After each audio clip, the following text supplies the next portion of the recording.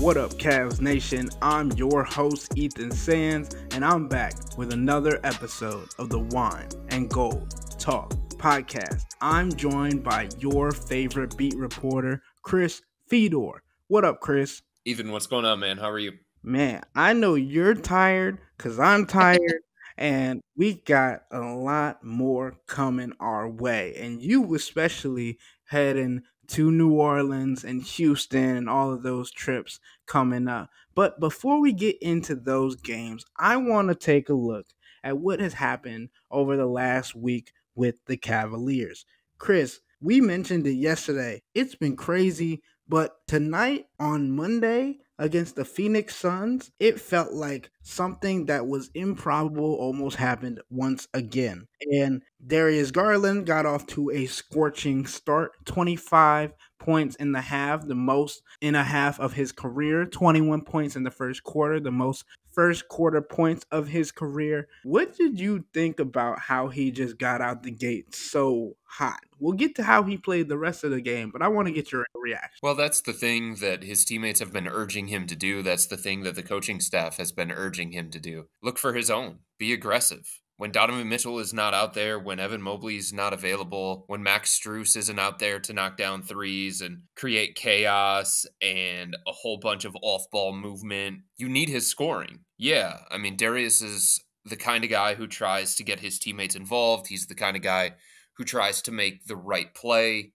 He's a point guard at heart, but they need him to be aggressive. They need him to dictate terms. They need him to break down the defense and that's what you saw in the first quarter tonight. Phoenix came in with a specific strategy against Darius, the way that they were guarding the pick and roll. They took advantage of Nurkic being out there over and over and over again. And it turned into an explosive, combustible first quarter. The other thing that stands out to me about the first quarter is that Darius, at times since coming back from the fractured jaw, has struggled in terms of getting all the way to the basket, being able to consistently beat his man off the dribble. And he doesn't have very much of an in between game. So the best nights that we've seen from Darius recently, Ethan, have been when he's lighting it up from three point range. And that's what happened in the first quarter. He took advantage of the defensive coverage of the Suns and it allowed him to start getting hot from three point range, getting clean looks from three point range. And then, of course, the Suns made the adjustment and changed their coverage. But that aggressive Darius is the one that teammates have been urging and coaches have been urging as well. For some reason, it's just hard for him to be that level of aggressive constant. Yeah, Chris, and I think it's ironic or somewhat funny that the game that it felt like he got his inside game back was against the Timberwolves, which is one of the better interior teams. But in today's game, in the first quarter, he had eight field goal attempts, right? For the remainder of the game, he had nine field goal attempts. And it was a testament to the Suns' defense switching and trapping and pestering and double teaming and things of that nature. But the offense of the Cavs really didn't get that boost that it needed once Darius's production went down. And it was hard to see that distribution of offensive production with all the rest of the players. And it, obviously, you look across the stat sheet and you see that Devin Booker, Bradley Beal, and Kevin Durant combined for 88 of the Suns' 117 points obviously the Cavs don't have that kind of firepower with Donovan Mitchell, Max Strus, Dean Wade, Evan Mobley all being out. But you needed Darius Garland to be that.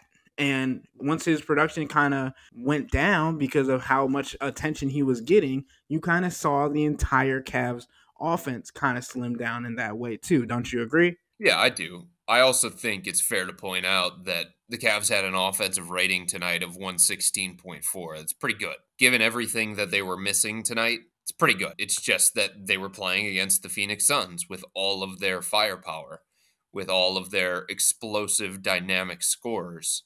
So the Cavs, to me, they just didn't have the answers on the defensive end of the floor. Third quarter, the other night against Brooklyn, gave up a massive 44 point quarter third quarter tonight against the Suns, gave up 34, including 19 against Kevin Durant. The Cavs kept making an error of leaving him, and I know it's hard because you've got Devin Booker, Bradley Beal, Kevin Durant, Grayson Allen all on the floor, all at the same time. It's almost as if you have to pick your poison, but you don't leave Kevin Durant. It's Kevin freaking Durant. And even he said after the game tonight, Ethan, that he was very, very surprised that that the Cavs continued to help off of him of all the guys that you're going to help off of. Kevin Durant, really?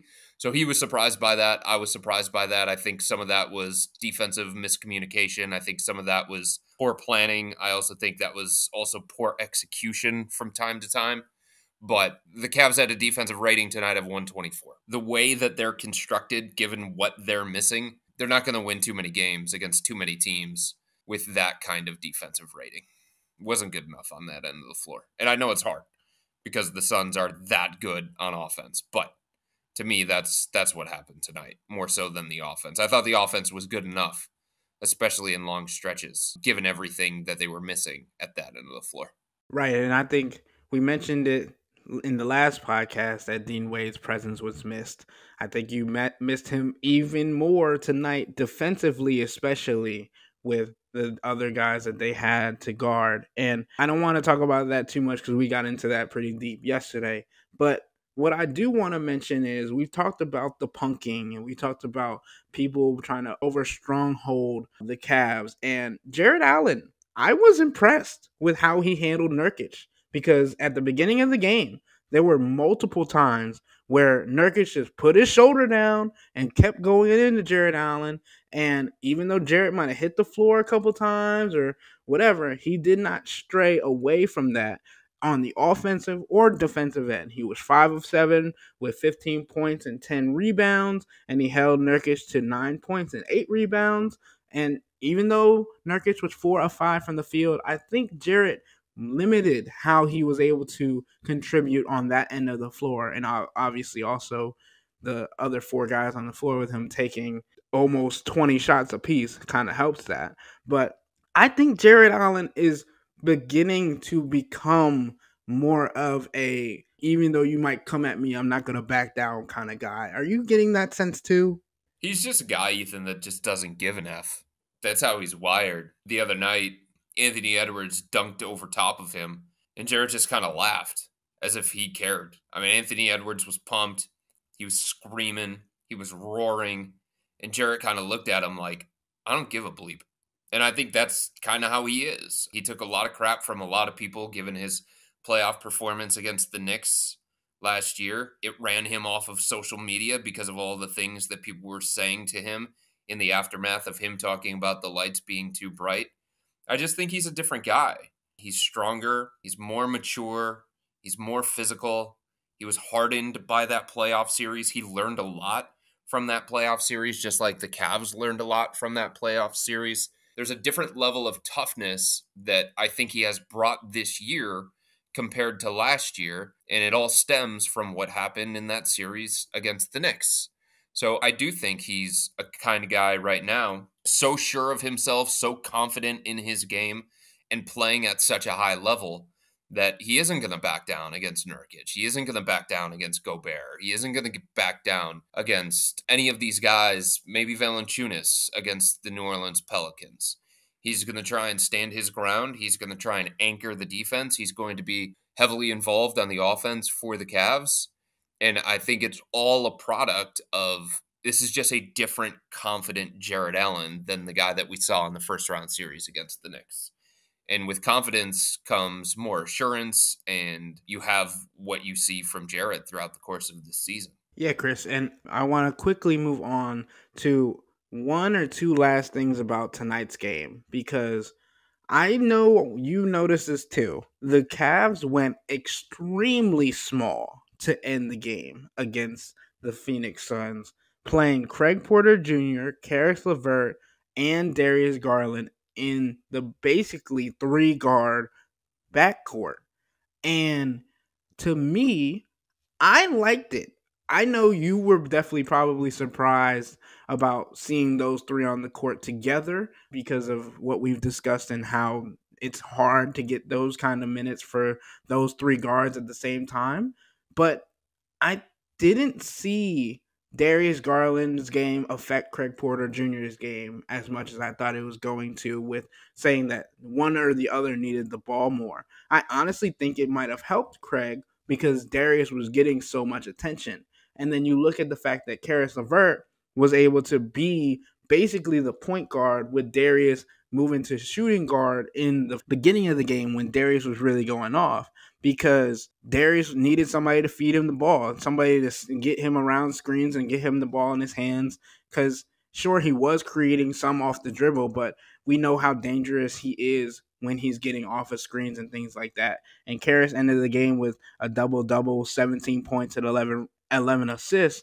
And I think his game has just been elevated as the point guard role, especially with him in the starting lineup. How did you feel about the three guard lineup with Isaac Okoro and Jarrett Allen to finish the game. Well, I think it's going to work against certain opponents, and I think it's something that the Cavs are going to continue to look at as they continue to play these stretch of games without Evan Mobley and then without Max Strus, and they're just going to try and piece it all together and find the best two man combinations, three man combinations, four man, five man, all of that kind of stuff.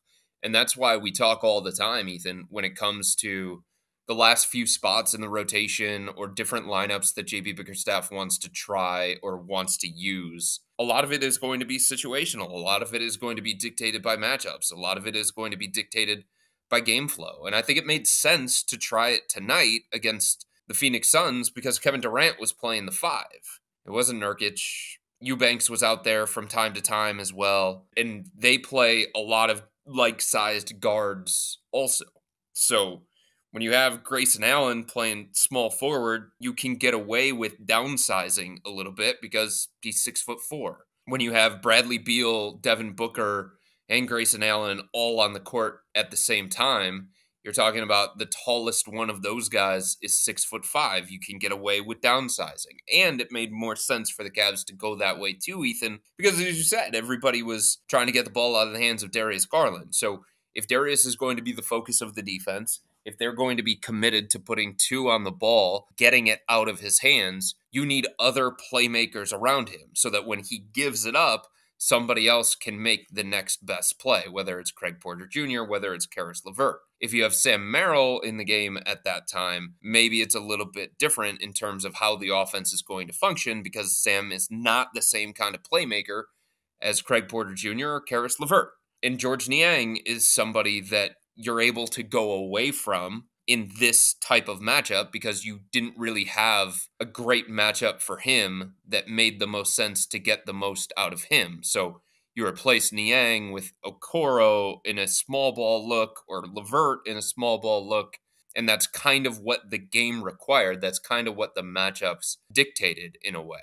And if the Cavs are, are going to go into these games so shorthanded at the power forward spot, you know, Ethan, they're going to have to get creative because giving Isaiah Mobley, giving him, you know, 15 to 18 minutes at this stage of his development, at this stage of his career, it's probably not the best way to go for the Cavs.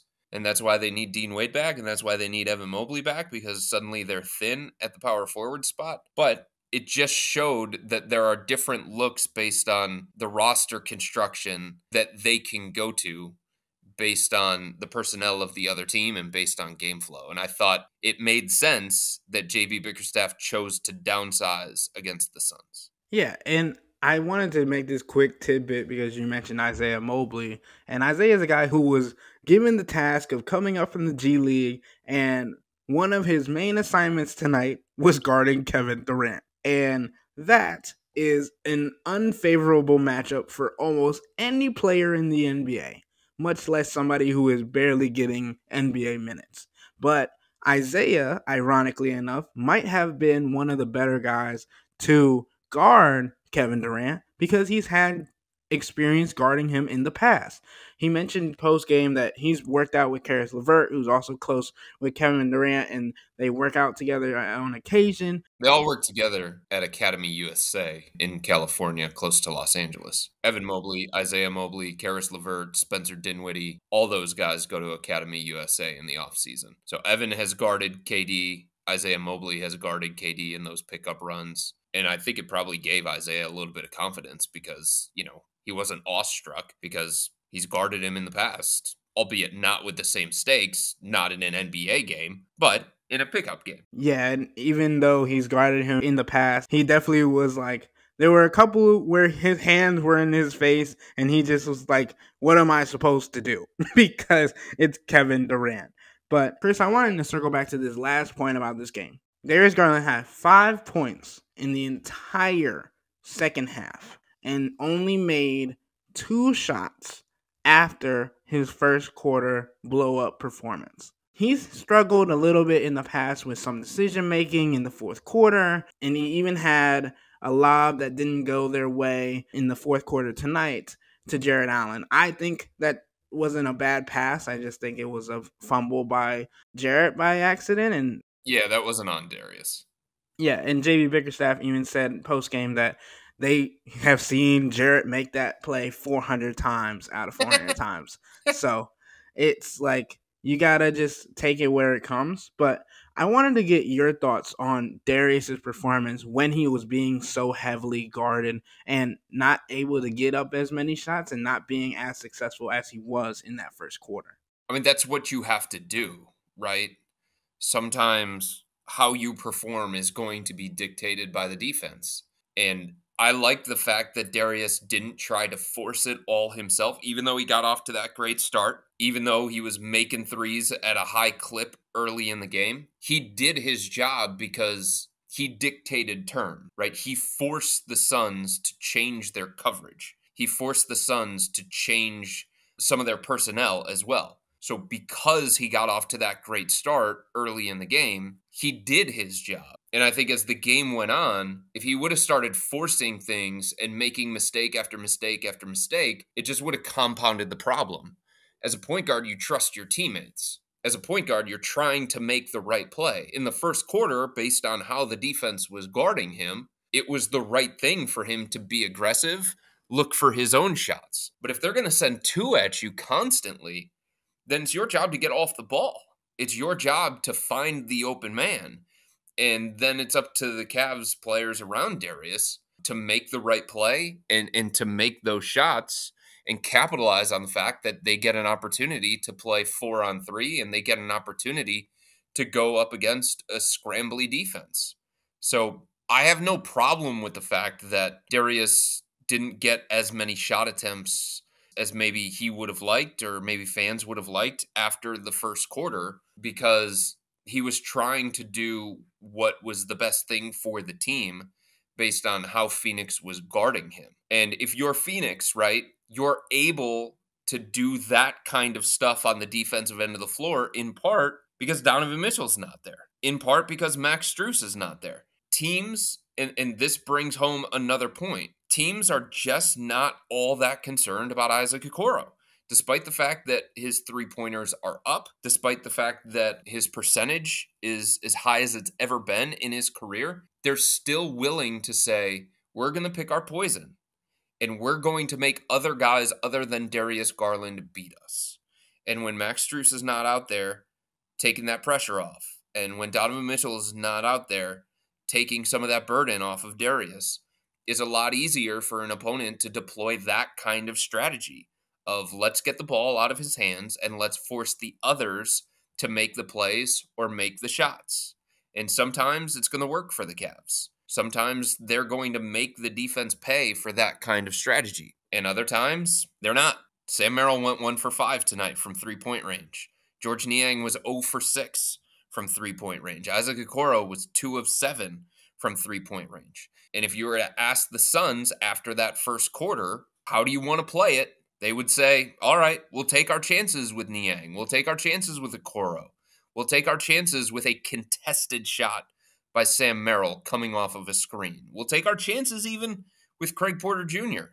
It's just not going to be Darius after the first quarter. Yep, and I agree with that. And I mean, you got to see the offense try and figure things out. And it's not like they fell apart, but they were not as productive as they were in the first quarter. And obviously, it's hard to do that when you drop 41 in a quarter. But I wanted to move on, and I think we got to take a quick break here to do so. So, before I do that, I got to let y'all know about our subscription service that you guys can tune into to be the first to know about when we think Donovan Mitchell, Evan Mobley, and Max Strus will be returning. And you can do that by subscribing to Subtext. And to do that, you can sign up for a 14 day free trial or visit cleveland.com backslash Cavs and click on the blue bar at the top of the page.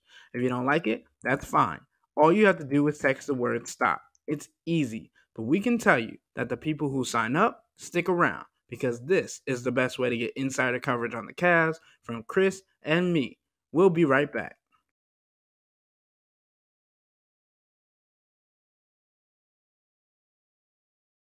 All right, Chris, we're back, and I need to get your thoughts on something.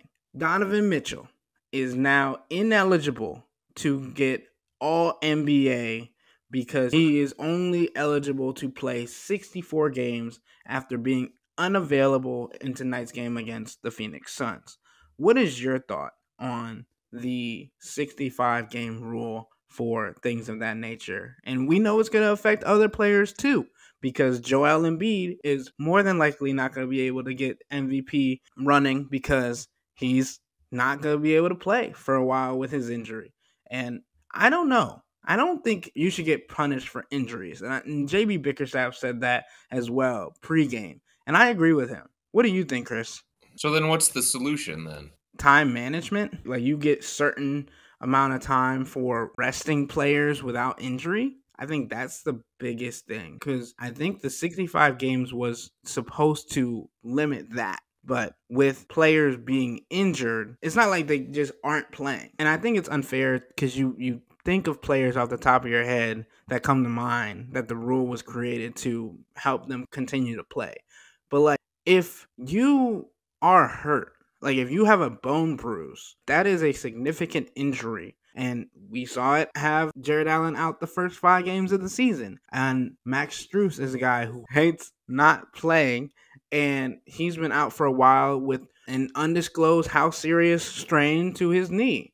And we need to really take into consideration the fact that Donovan Mitchell loves to play the game of basketball. Darius Garland loves to play the game of basketball. Unfortunately, Darius Garland continues to get in injury situations that are really not his fault, but like just continue to happen in really illogical ways. And obviously, it's hard to say that like you can prevent injuries, but to say that these guys are not going to be up for accolades that I think they deserve, or at least Donovan Mitchell has had a great season and should be on an all NBA team, whether that's second team or first team, that's up for debate.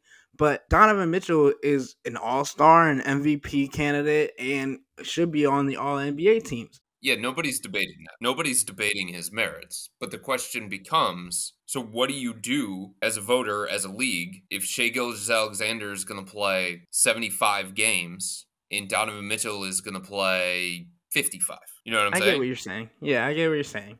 I mean, at some point, the guy who is more available to his team has to be considered more valuable, right? The guy who is more available to his team and also is having a great year, just like Donovan, is going to get the edge. So, is the solution put it back in the hands of the voters for them to determine their own threshold for how many games a guy can miss for them to actually put that guy on their ballot. The one thing I do like about this is that it gives voters a specific criteria to choose from, right? In the past, it was very, very difficult to differentiate between 45 incredible games of Joel Embiid and 75 games that maybe weren't as incredible, but still pretty good from another player. And it's like, who do you put on the first team? Or who do you vote for for MVP?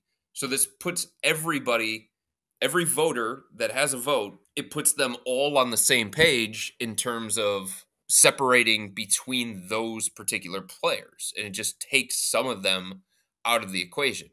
That part I do like about it. But I agree with you from the standpoint of there should be a way for the league to differentiate between this guy is missing games because he's actually hurt and this guy is missing games because of injury management or rest or load management or however a team wants to phrase it on the injury report. And if it's a legitimate injury, that's different to me. I mean, the reason why they put this in place is because obviously they want guys to play and because load management was becoming too big of a deal. And these national TV games were being watered down because these players were missing these big games. And fans that were paying good money to see them weren't getting to see them on the second game of a back to back. So, in a way, it incentivizes them to be more available maybe even play through injury a little bit more and not allow load management to take them out of the second game of a back to back or the first game of a back to back or something along those lines. So I understand why they put it in. I just wish there was a way, and I don't know if there is a way. I wish there was a way for the league to differentiate between an injury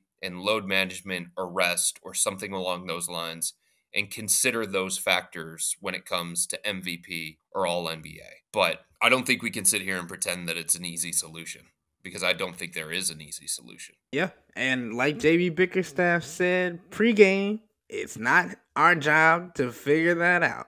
It's our job to speculate. Well, it's not his job to speculate. It's our job as journalists to speculate and examine the possibilities. But Adam Silver's not listening to us. I mean, it stinks for Donovan. It really does that he's not going to be on either all NBA team when he's had an all NBA season. It affects his resume, it affects his legacy in some cases. But this is the rule, right? And rules change constantly. And the NBA today is not what the NBA was in 1980. The NBA today is not what it was in the early 2000s. So I think you continue to evolve. I think you continue to adapt and see what the right way is. I don't know that this is going to be a hard and fast rule for the next five, ten years, 15 years, or something like that. I think it's something that the NBA is going to continue to explore when it comes to the load management conversation. I think there's probably some wiggle room attached to this, especially after seeing this year Joel Embiid being ineligible, Donovan Mitchell being ineligible, Devin Booker maybe becoming ineligible. You know, Caris LeVert's very close to not being eligible for six man of the year as well, based on the number of games that he has missed. So maybe because of what has transpired throughout the course of this season, the NBA revisits it in the offseason or the following offseason. But for now, it is the rule. And it sucks for Donovan because he's had an MVP type season and he's had an all NBA type season. But I don't like going 25 in certain areas of, of Westlake or Bay Village, but you know what? That's the speed limit, and I have to. And if I'm going to go 35 or 40 instead of 25, then they're going to punish me or they're going to give me a ticket. If a guy doesn't play 65 games, he doesn't get the end of season accolades. It's just the way it is. I like that comparison. I do. All right, Chris, really quickly, because I know we got to wrap this up. The Cavs are now going on a three game road trip Pelicans, then the Rockets, then the Pacers. Evan Mobley was out of his boot when we saw him after tonight's game in the locker room. Donovan Mitchell is making progress and reevaluating, doing on court things. Max Strus still haven't heard about him, and Dean Wade was out for personal reasons. These guys are huge for this team.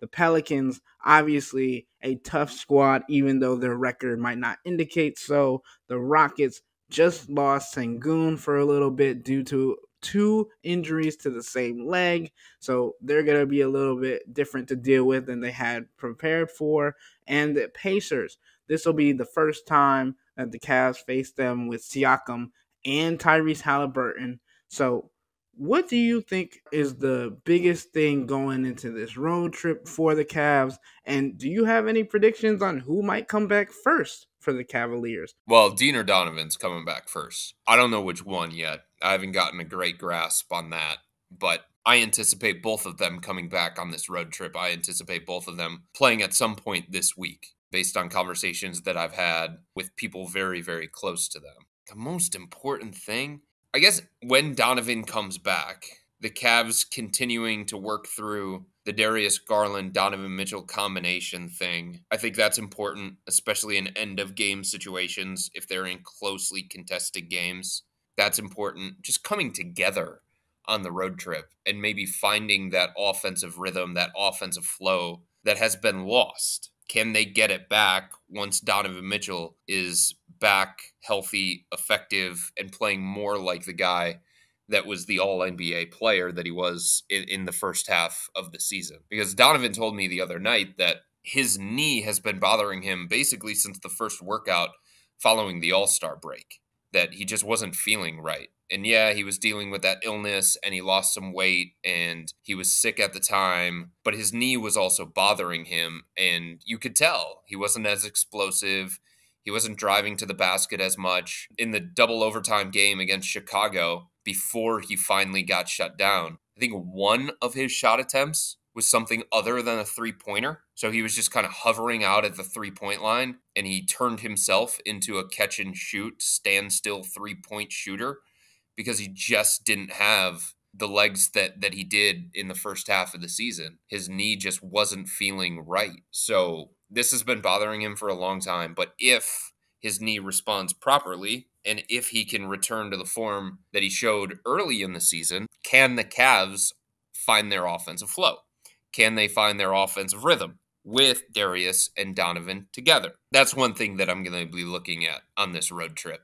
Problem is, I don't think Evan Mobley is going to be back on this road trip.